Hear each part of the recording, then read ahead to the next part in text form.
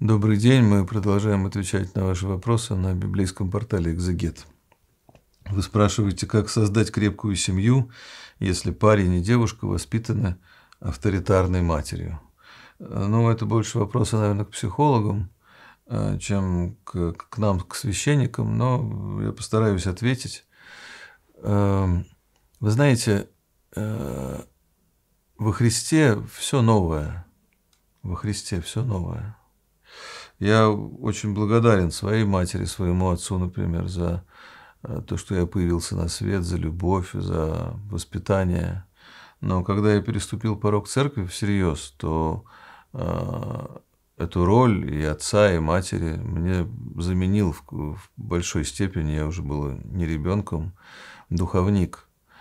И каноны церкви, и мировоззрение церкви. И это, так скажем, вторжение э, благое очень сильно поменяло мою жизнь, э, очень сильно поменяло мое мировоззрение, хотя я не был воспитан авторитарной матерью.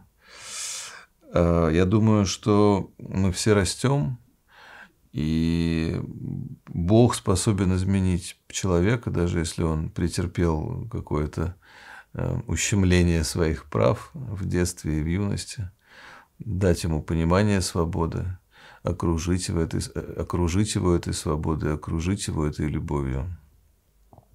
Э, очень многое э, исправляется в таинствах церкви, в человеке, очень многое. И мы должны с верой принимать эти таинства и стремиться найти в них ту свободу, о которой говорил нам Господь. Это не побег от авторитаризма семейного или государственного или всемирового. Это просто следование за Христом. Э, потому что если говорить о свободе, то только Христос освобождает нас, говоря нам, что если Сын вас освободит, то вы будете воистину свободны. Внеси свой вклад, оцени, подпишись и поделись этим видео.